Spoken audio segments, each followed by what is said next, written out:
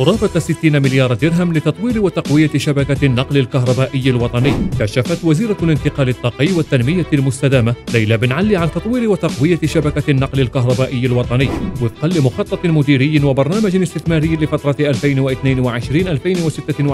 بغلاف مالي يقدر ب 58.8 مليار درهم. بهدف ضمان تزويد مختلف جهات المغرب بالكهرباء في أحسن ظروف جودة التكلفة والسلامة. وأشارت الوزيرة خلال عرضها لمشروع الميزانية الفرعية للقطاع بلجنة البنية الأساسية والطاقة والمعادن والبيئة بمجلس النواب إلى تحيين المخطط المتعدد السنوات للتجهيز الكهربائي وبرمجة إنجاز قدرة إضافية تصل إلى 6648 ميجا واط خلال 2022-2026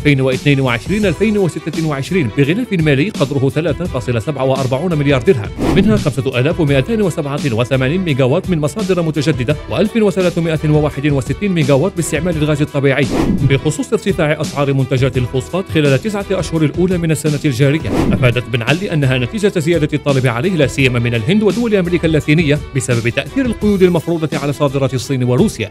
إذ سجلت أسعار الفوسفات الخام وثنائي فوسفات الألومنيوم زيادة على التوالي بنسبة 127 و43% على أساس الانحدار السنوي.